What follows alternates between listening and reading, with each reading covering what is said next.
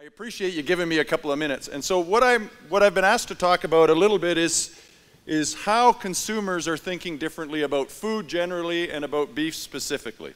So I'm not going to say everything that I think are important trends. I'm going to cover a, a few things that I think are are worth talking about and and and to consider how people are thinking differently about food. At the end, I'm going to share a little bit of stuff that's specific to animal welfare, but it's not so much that I want to talk to you about animal welfare, but to talk to you about kind of where agriculture is at right now in the minds of consumers. Because I think we are kind of at a crossroads right now, and we have an immense opportunity as food uh, producers uh, to position ourselves for long term success. So, the first point I want to make is the consumer no longer exists.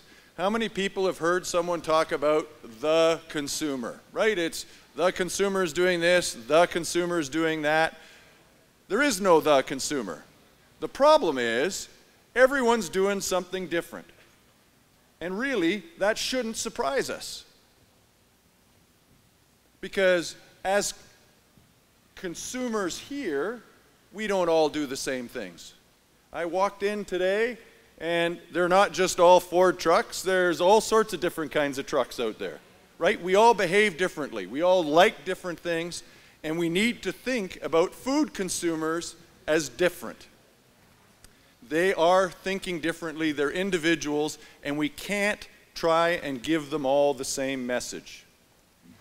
And that's not just related to product, it's related to where that product comes from and it's related to the message that we deliver to those individuals in how we communicate what we're offering.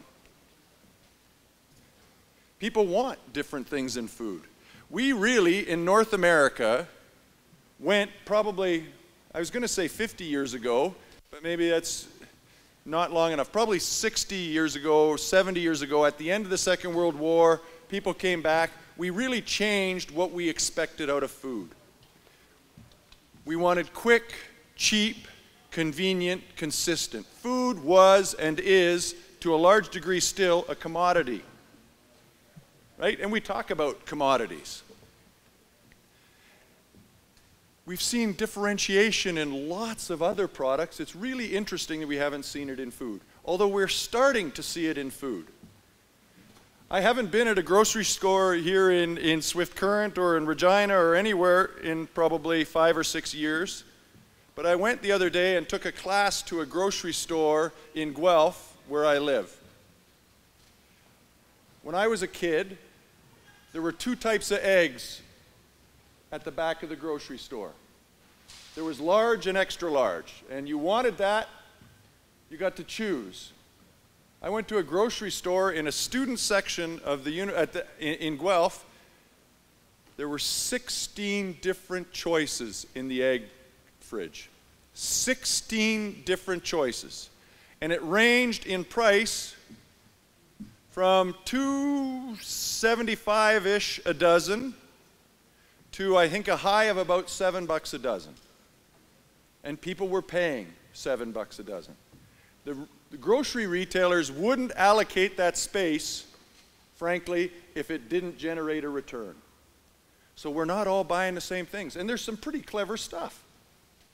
You know, they used to run eggs over a light table, and the double yolks had to get broken and put in to the processing eggs, right? The bulk liquid eggs. You know, you can buy double yolk eggs at a premium now because the bakers like them. So what was a byproduct before is now roughly twice as much a dozen as regular eggs. And so people are thinking about how am I going to use this product? What do I want? And, and, and where am I going to buy it? And again, there's a bunch of different characteristics nutrition, production, how it's produced. We've heard organic, all, you know, we, we've heard all sorts of different things that can and maybe should go into the production process. Where it's produced. In this room, lots of us like to stand up and say, buy Canadian beef. My wife will not buy any beef that's not Canadian. She will go search out a manager in the grocery store and say, It doesn't say where this is from, can you tell me? And if they can't, she won't buy it. Now, many of you in this room would say, Well, that's because Canadian beef is better. Frankly, I'm pretty sure if I put a couple of different steaks in front of her, one from the US and one from here, I'm not sure every time she'd be able to tell the difference. But it matters to her as a consumer. And those sorts of differences will matter more and more. We are no longer producing beef. Frankly, I think we are producing specific kinds of beef, or at least we will be. And there's other characteristics. We heard this morning about welfare. Uh, sometimes the size of the producer makes a difference. Uh, sustainable production, we heard from Matt earlier. Other elements, all of those sorts of things are going to start differentiating products. And we're going to be building these value chains or these supply systems that allow us to reflect those differences. Food companies recognize this and they treat customers differently. You know, there really are only two or three big grocery chains in this country. They just have several different kinds of stores within those chains to deal with different kinds of customers. They offer the same products, or at least variations of those products, to different kinds of customers depending on what that customer wants. Processors get the difference. And really, in the end, the question becomes who extracts that value? You know, this restaurant wants smaller steaks, that restaurant wants bigger steaks. If we're buying commodity beef, who gets the who who extracts that value? Then it happens up there. What I think is going to happen, and Matt and I were talking about it earlier, is really these devel the development of partnerships. As we get away from commodity beef, we will develop these partnerships that get built throughout the value chain from the start so that we can say we know not just for traceability, Traceability is great and it's important, but in order for us to be able to tell the story that's associated with this product, in order to provide the narrative that's associated with this product. An important point in this is that the larger your share is, the tougher this is to do. We want everyone to eat beef, right? We'd like it if everyone ate beef. And to a large degree, except for 5 or 10%, most do. Keeping 90 or 95% of the population happy is harder to do than if you have a 20% market share. Anyone guess what Tim Hortons' market share is in the coffee business in Canada? Anyone have a guess? It's about 80%. 80% of the coffee bought in this country outside the home is bought at a Tim Hortons outlet.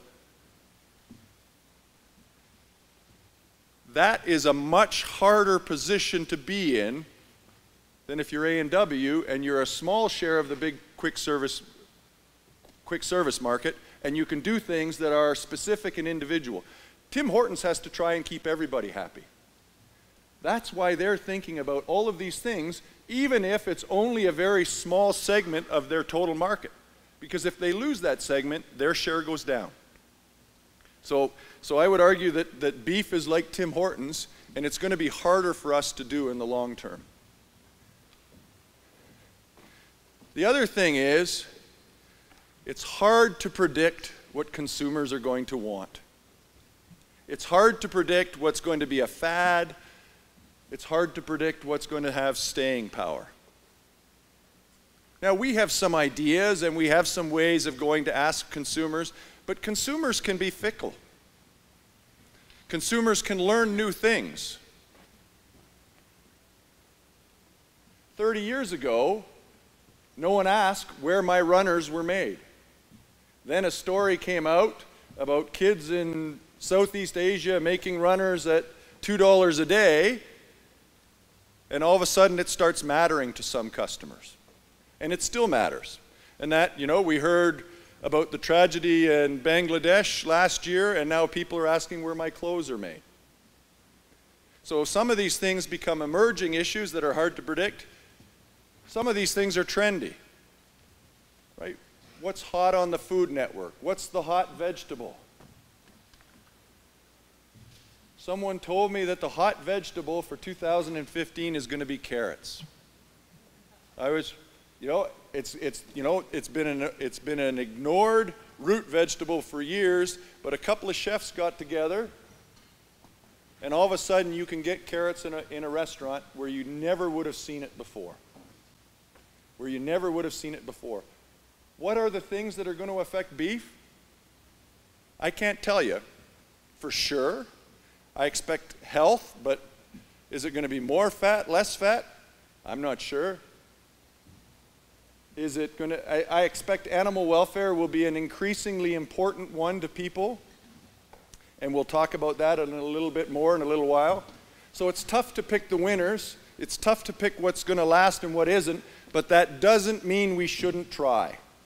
Because if we don't change, frankly, consumers will go look for what they think they want somewhere else.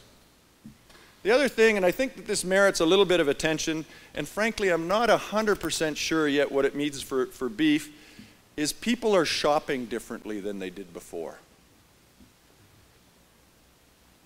Grocery stores, uh, we, we have evolved to these large suburban grocery stores where we tend to go once a week, fill our minivans or our pickup trucks, go home, and that's it. People are buying food in lower quantities more frequently. Why did Loblaws buy Shoppers Drug Mart? Loblaws bought Shoppers Drug Mart not because they wanted to get into the pharmacy business, because they wanted small local stores that they could increase the grocery footprint in.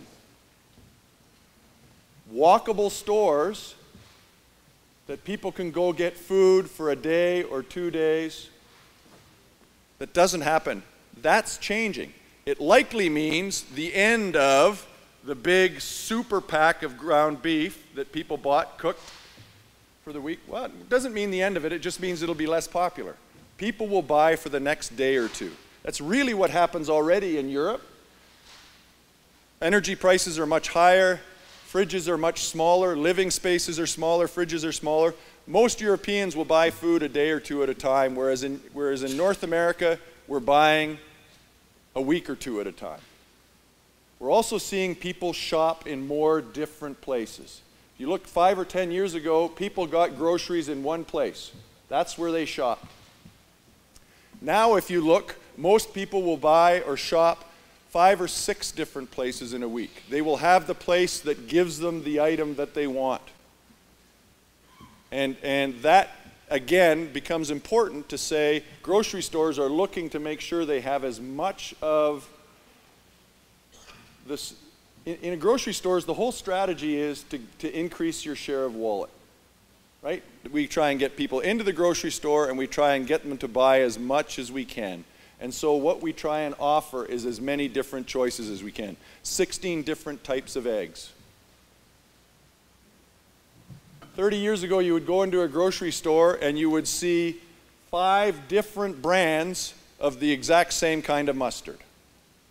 Right? There was some sort of processed mustard. There might be a little bit of Grey Poupon off on the side, Dijon. Now you go to a grocery store and there's only one kind of prepared mustard because there are 17 or 18 or 20 different other kinds. Trying offer what that individual wants. We haven't seen that as much in the less processed products, but we are starting to see it. 16 different kinds of eggs. We're seeing it a little bit more in pork, and I think we will start to see it before long in beef as well. Demand for meat is changing, and I'm using demand in a little bit different context. I'm not talking about, I, am talking about how much people are eating and, and, and what they're choosing. Because it's interesting. What's interesting is people are eating less meat, beef, but they're willing to pay more for the beef that they're buying. That's why we're seeing that graph that we saw earlier. But we'd like to understand a little bit why people are eating less. And, and it's confounded a little bit by these record high prices, right? It's hard to sort of tease out what is a trend and what is a reaction to the prices we're seeing right now. People are eating less meat, less red meat. We've seen this trend, I think, what did you say? It was a 30 year decline in average consumption. That's happening. I think it's also important to say, understand, you know, we hear about these vegetarians there and the vegans. You know, trust me on campus, I see a lot of them. But they're not driving what's happening in beef. I think what we're seeing a lot here is people saying, I'm either going to eat smaller portions or maybe one day a week, we won't eat a meat protein. We'll eat something else. We are at my house about to become empty nesters. And my wife said, Oh, it'll be amazing in the fall. Maybe one meal a week we'll have without meat. I nodded obediently as I should and just planned to go to a restaurant for my, for my meat that lunch, whatever day that was going to be when I was in at work. So, but that's happening. We're getting older as a society. We're eating small, smaller quantities. We're more conscious of health. We're getting all sorts of com- bombarded with messages from all over the place about how much red meat we should or shouldn't eat. Uh, and, and and that's driving that. Smaller portions are driving it for sure as well. People are just eating less as they sit down. Product mix changes as well. Some people are eating less meat overall and then are eating better cuts, so that's why we see that demand factor, right? I'm willing to pay more because I don't get to eat it as much, so when I eat it, I want it to be amazing.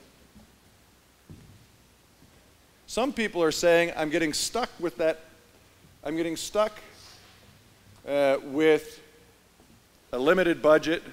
So I'm going to eat more. I'm going to eat just as much beef, but I'm going to buy some more of those bigger, uh, of those lower cost cuts, which is why we see that ground beef effect that, that we heard about earlier, right? People are saying, I still want to eat beef, so uh, the demand for ground beef goes up, and that, and that happens as well. The next point I'm going to make, as far as a consumer trend, is that restaurants matter more.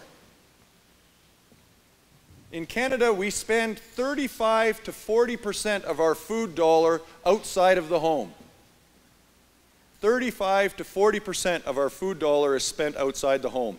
And we don't, we don't pay a lot of attention as to what's happening in restaurants, particularly in the academic environment. In the US this year, that number will cross 50%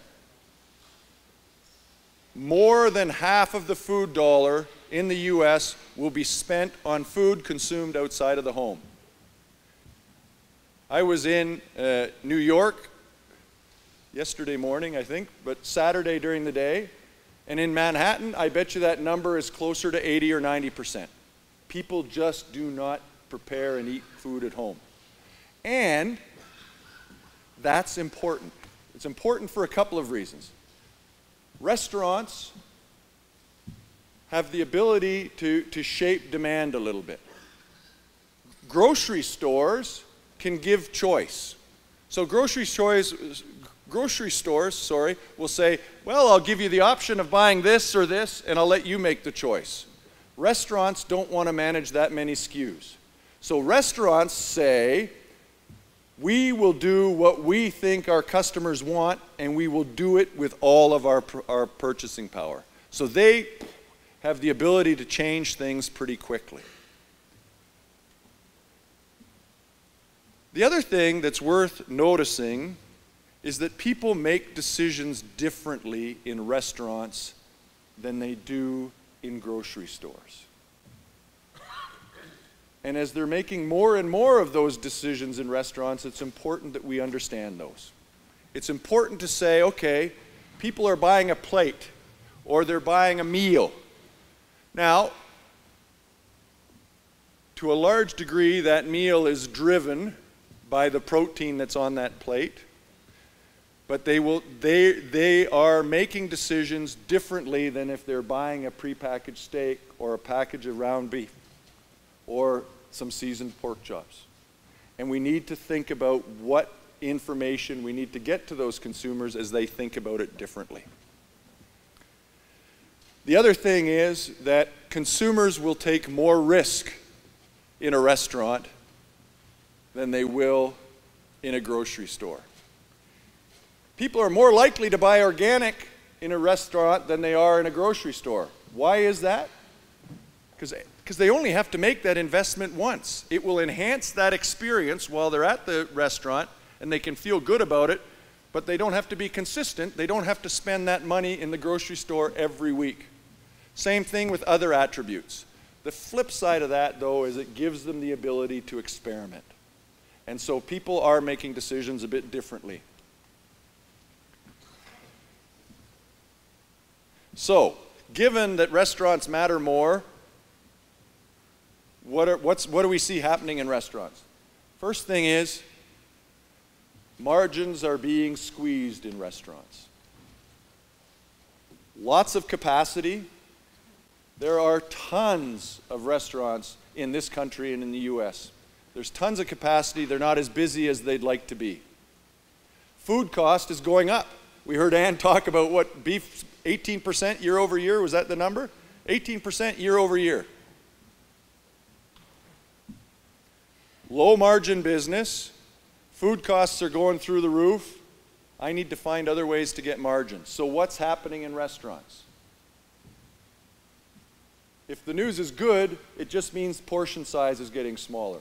I talked to the Canadian vice president of a restaurant company a couple of weeks ago and they are talking to their beef supplier about getting smaller steaks. They just can't hit the price point that they need to hit with what they're doing now. So the margins are getting squeezed. The other thing that's happening, we've heard the drive to increase minimum wage. Someone gave a shot to the uh, Alberta government the other just earlier. But Sanford, uh, Seattle has already raised the minimum wage in Seattle to, to $15. Uh, Los Angeles has made a long term commitment to doing that. The city of New York is talking about doing it. Uh, we've seen one increase in Ontario, there are more to come. That will hit restaurants. And the attention, to a large degree, has been on quick service restaurants, so a value meal is going to go up. It will hit full service restaurants even harder because they have more labor. Right? If you're having someone walk it out to your table, this increase in labor costs is going to, again, make them make choices about what they offer.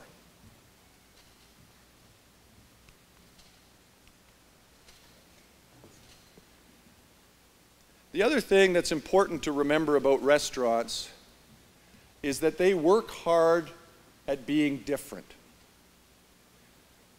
even these large chains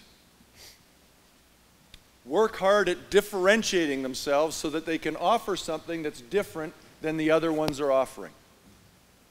And so we're seeing way more variety in restaurants than we'd ever seen before. And, and even in quick service, look at quick service restaurants. I think it was Harvey's in Canada that came out with the first Angus burger. Is that? I think so. Then all of a sudden, within a few years, everyone had an Angus burger. When was the last time you heard an ad for an Angus burger at a quick service restaurant? It doesn't differentiate them anymore, so they don't want to pay a premium for the beef if they're not going to get a premium or, or, increased share out of the marketplace. A&W, it's always a bad name to bring up in a beef crowd, I understand that. What did they do? They made a solid strategic choice they didn't do that randomly. They found a supply, frankly, I, and, and this is just what I think. I haven't spoken to them. I, I hope to get a chance to speak to them at some point, but I think they found a supply that was going to be hard for someone else to source quickly and said, here are a whole bunch of attributes in this beef. Let's go do a whole bunch of market research, which we know they did. What's going to resonate most with consumers?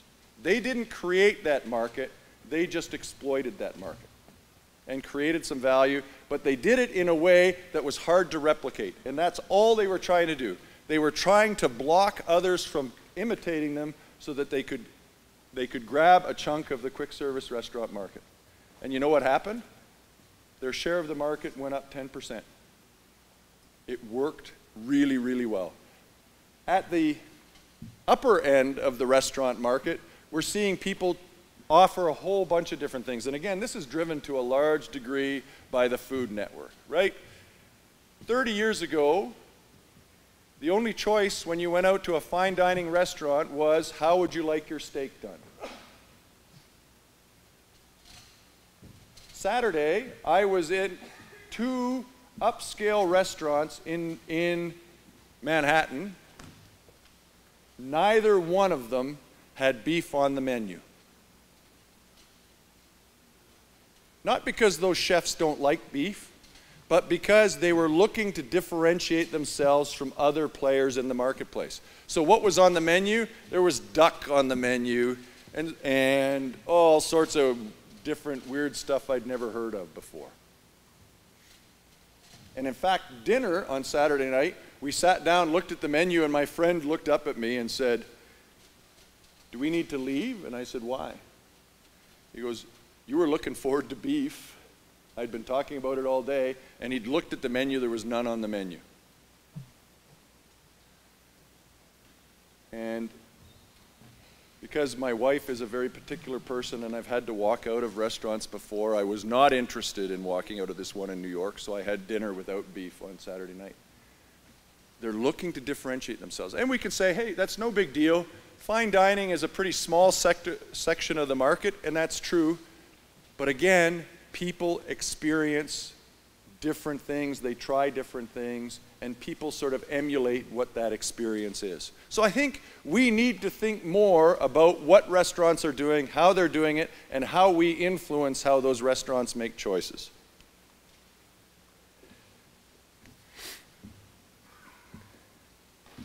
The next point I'd like to talk about is what I call the citizen consumer divide. And, and I, I've been talking about this for a while, and a few weeks ago, someone sort of highlighted to me that this is, this is really what it is. That people think differently about what we should do than they often act as they, when they are consumers.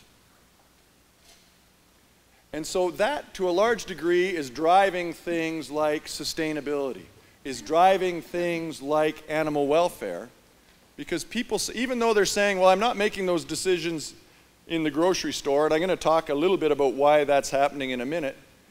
But they are saying we should be doing something. And I think what the, what the take home here is for industries is that if we aren't active in this discussion, if we aren't active in making some of this progress, consumers will be asking someone else to make it for them. So I think that there's a real opportunity here for us to create value for consumers. Stop seeing it as a threat and see it really as an opportunity to create value for consumers. Because I think, and I get ahead of myself a little bit,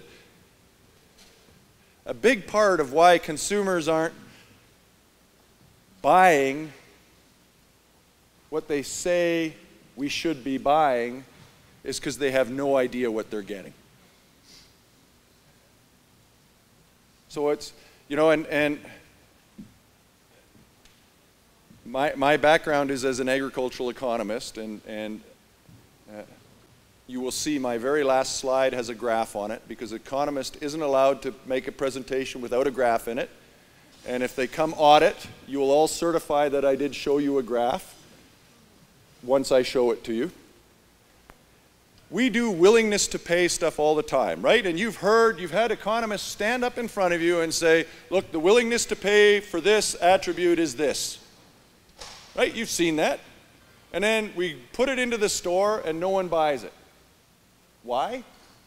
Well, part of it is some bias in how we do the research because people will always tell us that they'll do what they think we want them to do or they will do what they think is the good thing to do and then when they're in the privacy of the grocery store and throwing stuff into their cart they're hoping no one looks then they act differently but i think what one thing that we've missed in that discussion is that consumers also have no idea what's happening. They have no idea what they're getting, they have no idea what's in the, in the package. And so they think we should be doing this, and they think maybe to a large degree they are. And that's what I mean when I say a lack of action may not be a lack of commitment, but rather a lack of awareness. And that's an important distinction. And I think that's what I'm going to talk about for my remaining sort of 10 or 15 minutes. we did a bunch of work supported by Tim Hortons looking at animal welfare. Tim Hortons was one of the companies that made commitments on eggs and pork. We're now starting to do a little bit of this work in conjunction with the University of Alberta on beef as well. But uh, we wanted to look at consumer stuff, and that's what I'm going to talk to you about. But we also wanted to look at how we would make some of these changes in the context of the value chain. So, what could we do to do this? And punchline is with eggs, it's pretty easy to do, right? You make the change in the barn, put the egg in a container, and away you go. It's easy to keep it separate. Well, if Tim Hortons is buying some breakfast sausage and a little bit of bacon, what the heck do I do with the rest of that carcass? Right? So we, we have some different challenges in, in, in these markets, but let's just talk a little bit about consumers consumers are thinking about animal welfare. 60% expressed concern of five or higher on a, on a scale of one to seven. Less than 20% were at the bottom of the, many were sort of unsure. Yeah, I think it's important. I'm not really sure what's going on. In hindsight, we should have asked this a little bit differently. Because we don't know if the people who aren't concerned just don't care, which is, which is a possibility, or if they're not concerned because, hey, I think we're doing a pretty good job. And for the most part, consumers think we're doing a pretty good job. Consumers trust us. Consumers think we're doing a good job of producing food for them. That's a great position to be in. But there's a yeah, but. Do consumers trust us? Yeah, but they have no idea what, they're do, what we're doing. They have no idea how food is produced. And I may be getting ahead of myself. We ask them, we ask consumers some basic questions about agricultural production. We ask a beef question. We the question they got right most was that a dairy cow had to have a calf before she gave milk and only 30% of people knew that. And that was the question that was answered correctly the most. We asked people what they were buying in a store. The most common answer was, huh? I don't know. So, it doesn't tell us whether what they are thinking about, but they are sort of aware of it. In the retail, consumers tell us that animal welfare ranks in the second tier. So you still have to have a good price. Still need to be fresh, still need to be safe, all of those that taste good, all of those things are table stakes. If you don't have those, you're not in the game. The second tier included animal welfare, nutrition. Those are the things that differentiated. Those are the things that people are going to leverage as a difference. What's interested in meat, environment, brand, organic, we're in the second we're in the third tier, ranked below. So with the consumers, those with that group of consumers, there was animal welfare. Actually, I hate to tell you this, but animal welfare actually rated higher than fair treatment of producers. Now, again, I don't think that means they're saying, well, stiff it, we'll give it to them. I think they're thinking right now that producers are getting treated pretty fairly. I won't get into that debate. We won't, we won't argue that one today, but they think the producers are being treated pretty fairly and they're saying, who's watching out for the animals? In a restaurant, we, what we did this time, we gave them 100 points and we said, what influences your decision in a restaurant? What influences where you go by? And animal welfare ranked 2.2 out of 100. So the temptation is, in this circumstance, to say, it doesn't matter, move on, right? But it's much higher for a segment of the market, which is a higher proportion of young people.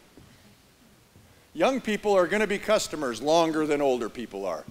It's basic biology. And they are thinking about it. So, what we need, and this gets back to what I said before there is no the consumer. Let's take a look at how these people broke down. First group was the unconcerned group. We're not worried about animal welfare. Again, I have to admit we made a bit of a mistake here. We don't know if they're not worried about it because we think they because they think we're doing a good job or I just don't care. That's an important distinction. We should have got it, we didn't. We're in the field again right now, we'll, we'll, we'll get it clear. They don't believe their personal food choices make a difference. So they're just saying drive on, is essentially what this group is. This group represents about 22% of the sample, much more likely to be male. They're not particularly price sensitive, they're just looking for other stuff. Again, there's a danger in assuming that they don't care about animal welfare. They don't have a good, they, they really have no idea. The, the, I was going to say this group is clueless, but the truth is, to a large degree, they're all clueless. The price sensitive group. These are people who self identified as price sensitive. That doesn't mean other groups aren't price sensitive because we saw price rated at the top, but these are the people who said it's really all about price for me. All about price.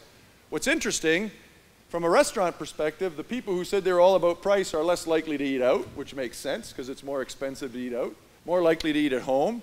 They're not concerned or aware of animal welfare. They just want whatever's cheap. How big a proportion of the group do you think that is? It's about another quarter. The biggest group, about half, is what we identified as the concerned group. These people say labels should indicate more clearly the rearing conditions of animals. We can't label everything. Ladies and gentlemen, we'd have so many labels on a package, we'd never ever be able to see the beef inside of it anymore. What I think this, and I don't think these people are necessarily saying we think it should be labeled. What they're saying is we'd like to know more, and that strikes me as a way I could know more. 40% said it would influence their retailer choice, 39% said it would influence their retailer choice. So they're thinking about it and it matters to them. It's in their consciousness. They're about half of the respondents. They tend to be younger. They're much more likely to be female more likely to believe that their choices can make a difference, so they become activist consumers, more likely to say government should play a role, and that becomes, again, a reason for industry to be a little more proactive. And they are slightly more inclined to a scientific argument, but not that strongly. How many times have we said, hit them with science? right? If the consumer asks us a question, hit them with science.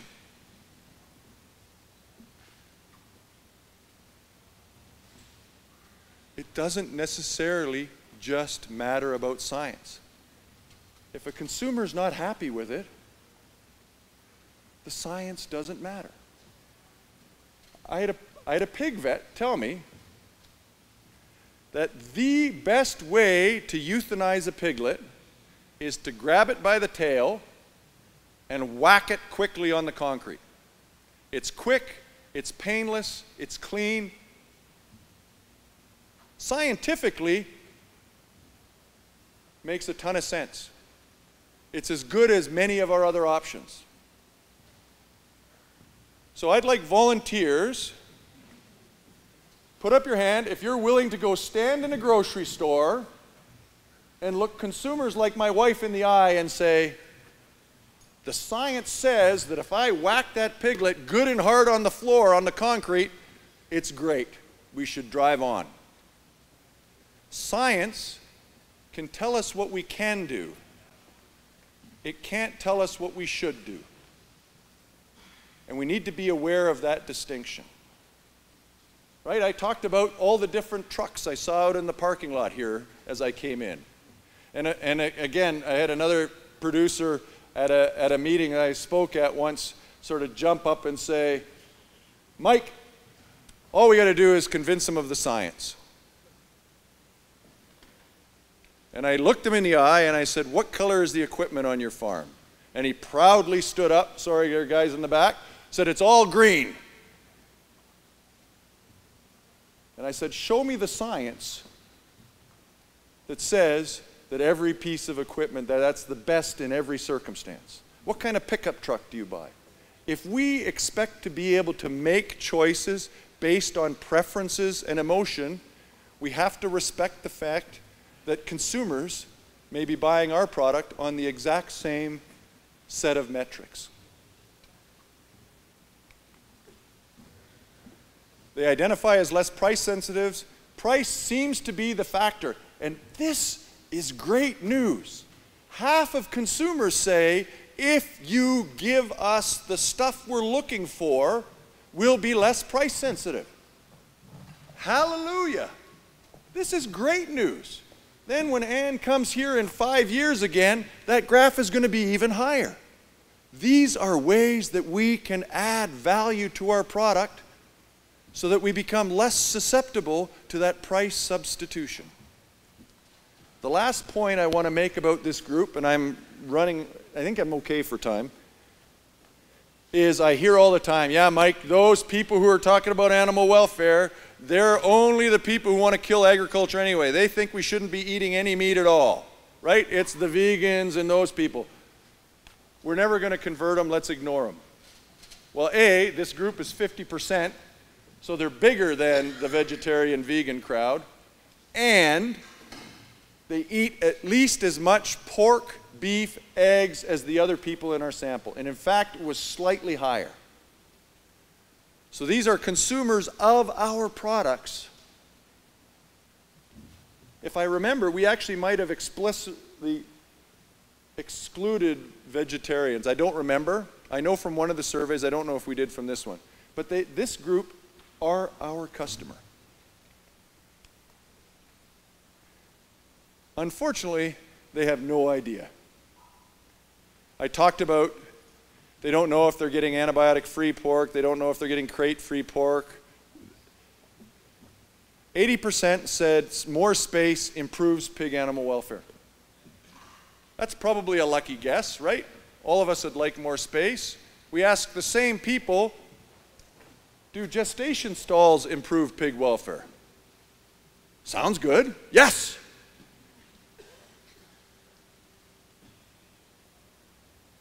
There's overlap there. These are people saying both sides of this story.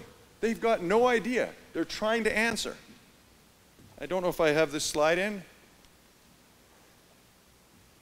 Half of consumers said castrating baby pigs is positive, half said castrating baby pigs is negative. Now, I've never looked at the gender split on those responses. But again, it says they have no idea when we ask them about welfare. So, what we have is consumers who think we're doing a good job, but they have no idea what we're doing. That to me has a little bit of risk associated with it. That to me says, what if they don't like what we're doing and we fall off? And, and let me give you an example. I was at a conference last week. I was talking to a woman from, uh, from Britain, and as I'm not sure if it was last year or the year before, they had their horse meat scandal right? Where some grocery stores had prepared products that were supposed to have beef in them, and it wasn't all beef. There was a little bit of horse meat in there as well. That didn't just hurt those retailers, that hurt consumers' trust in the system. We've always thought it was good. So, that to me highlights the need for us to get into a conversation with consumers to close that gap. A student once said to me, and I don't remember what it was associated with, but I thought it was excellent. I don't know if she stole it from somewhere else, but I, I always attribute it to her. She said to me, A conversation can't be two monologues. Right? We have to be willing to hear both sides. We have to be willing to state our position, but we also have to be able to hear what the other side is. And in a conversation, if we're sharing what we do, I'm confident that consumers are going to be happy with 95% of what we do. But we have to be willing to take a risk that they say, that 5%, I'm not so sure about.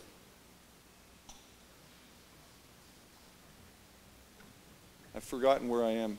Oh, the active concerned. I need to go back here for one second because I always say that, and invariably, someone stands up at the end and says, Mike, you're right. And we'd be happy to do it if they pay us for it. And I say, that's great, but there's always a yeah, but. What if they think they already are? That's the risk we run right now. So we have to be willing to have that conversation. I think in most cases they're going to be really happy. I think, in fact, probably the beef business is probably the best shape from an animal welfare perspective of any of the big protein suppliers. I think, I think we are. So I think we need to get into that conversation, but we have to be willing to say, if they say, we don't like that, either be willing to change or someone else will.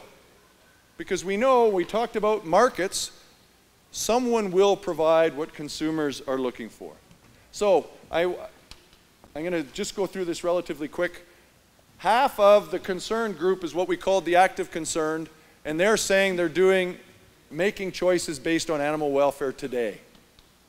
So if you're Tim Hortons and 25% of consumers are saying, we are making choices on animal welfare today, that is material to your business.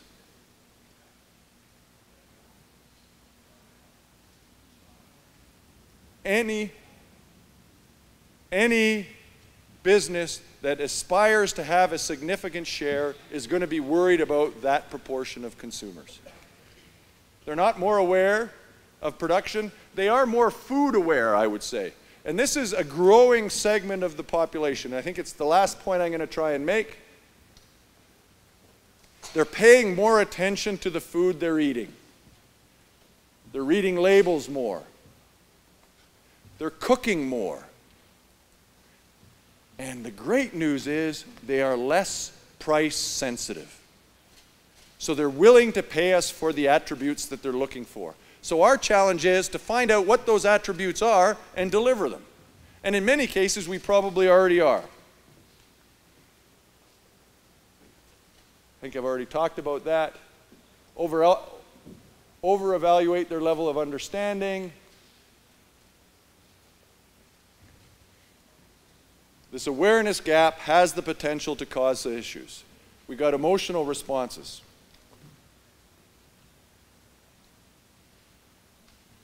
What did the layer people do when battery cages started getting all sorts of criticism? They started to research, right? And what did they come up with? Enriched cages. What's the problem with an enriched cage? It allows a bird to flap its wings, it allows the bird to exhibit nesting behaviors, it allows a bird to have the space to dust bath, all of the things that we want birds to be able to do. But all consumers hear is, it's still in a cage. A huge strategic error driven by science. Crate versus stall. A sow is in a gestation crate versus a gestation stall. Now, I'm not suggesting for a moment that we can use weasel words to get out of the trouble, right? But what I'm saying is we need to think about how we communicate. That matters. And who says it matters a lot. I have a student who just did a survey at the University of Waterloo of 300 university students, millennials, right? 19 to 23 year olds. You know what they told him? He's a, he's a farm kid. And, and he, his whole thing was, I want to get to know, I want we had to really sort of rein him in so he didn't have a survey that was really very biased because he really wanted to find out what do they know and how can I convince them that we're good people. And these students said, we'd love to hear from farmers. We'd love to hear. My last slide, I promise. This is not my work, but here's my graph. There's two of them. So if I get audited, please verify. My, my economics degree will continue. This is pork. This is work done out of Purdue in the US. This top graph, if you look at the graph at the top, asks people's perception of animal of, of certain farm practices, whether it's good for an animal or not. And you clearly can't read it, but it doesn't matter because what I want you to do is look at each one of those graphs. And what you have is a big purple line in the middle, which is I have no idea if it's good or bad. And then you look at both sides, you have half of the remaining people saying it's bad and half of the remaining people saying it's good. You have the big group in the middle saying, I've got no clue, and then people on both sides saying, I'm guessing. Which says that the American consumer is very much the same as the Canadian consumer. And the last thing is, we th then they ask them, and we've done this too, we just haven't got the data together yet. Where would you get information on animal welfare today? That big green thing, the Pac Man, is I have no idea.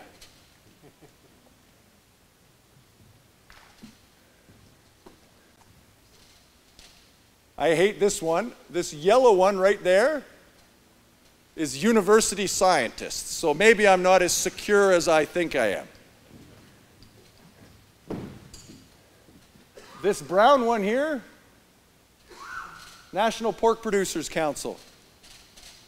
The green one right next to it, National Cattlemen's Beef Association, the NCBA, 1% each.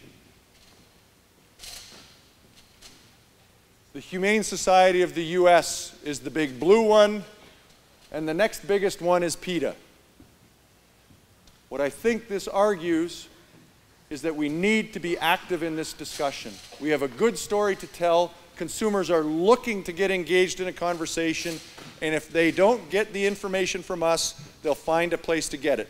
That relates not just to animal welfare, it relates to hormone use, it relates to sustainable practices, it relates to manure management, it relates to all of those things. We need to be active in that discussion.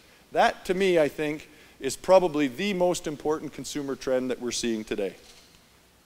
Thank you very much for your time. That's my email address. If you ever have questions, I'm happy to. Uh, and uh, I'm happy to respond and happy to hear from you. Thank you very much for your time.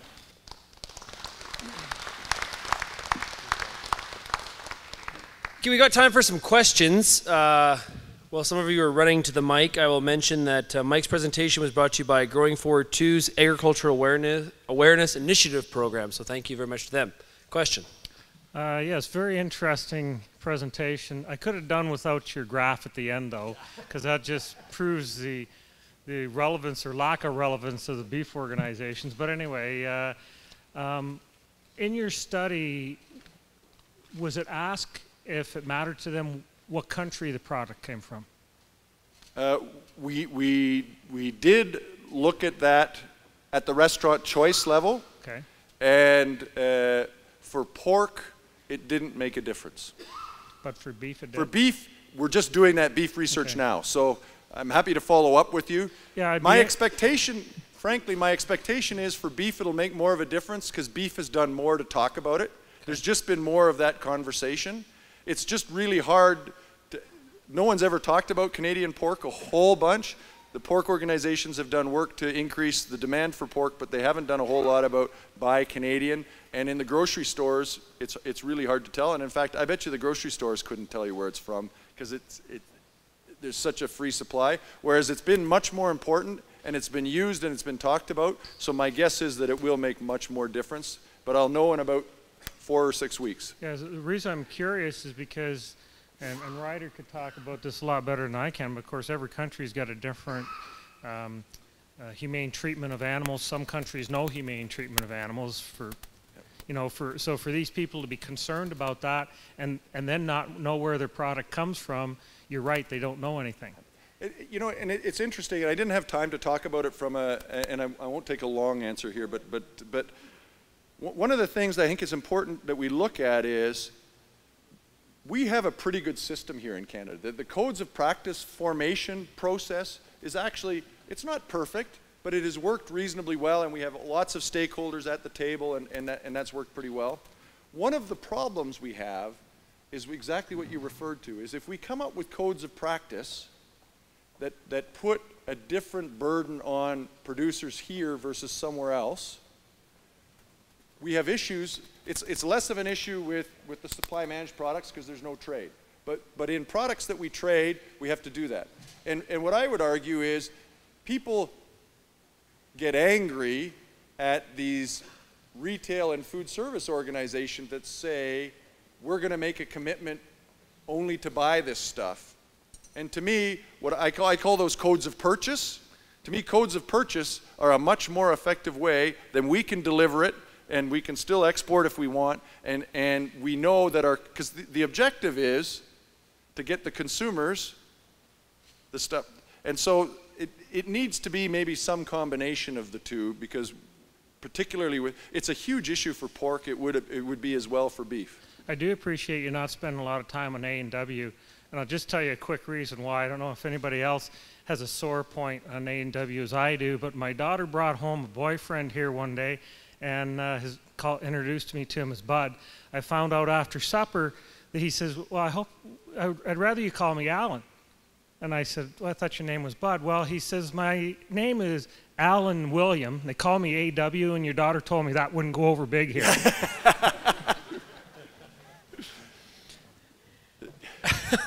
I thought you were going to follow up on that. Where are you going with that now? I had, I had an idea, I, I lost it. Uh, in terms of code of practice, uh, I know a lot of organic producers have some of the same sort of squabbles, right? Where if 80% of the food, organic food that is sold in stores in Canada is actually from Brazil and China, yeah. there's different levels of, obviously, of production practices. They have the same sort of grape. Yeah. So, anyone here? I told you, you're not allowed to answer. Who is the largest retailer of organic food in the world? Walmart right? Not what we would think, not the sort of traditional sort of perception of, of Walmart. So, and Walmart's strategy on organics is to supply, obviously, to supply organic food to the market, uh, but at the same price as conventional food. So, can you kind of comment on that in well, terms of like, is that the end game for organic producers too? Or? It's going to change the organic market. It's going to change how organic is produced. But what's going to happen is we're going to have different kinds of organic. For some consumers, Organic means more than just the production practice. Organic is about who produced it, and Walmart's not going to be able to do that. So essentially, we're going to have this generic word organic, and we're going to have multiple different types or criteria by which people are going to be shopping for organic. Some people would argue that you simply cannot buy organic at Walmart because it goes counter to what organic means. And so we will see, we will end up seeing large scale farms producing organically, but we will still see a large market that, that is the people who want to buy sort of the, the whole experience. The, the, the, the last point I was going to make that I remembered now is uh, you talked about the organizations being ineffective. I'm not entirely sure I buy into that. I think we need to, to change the way we communicate. I think I think that there is a role for a strong voice to say, here's what we're doing, and to, and to lead that conversation. Yep. Okay. Any more questions?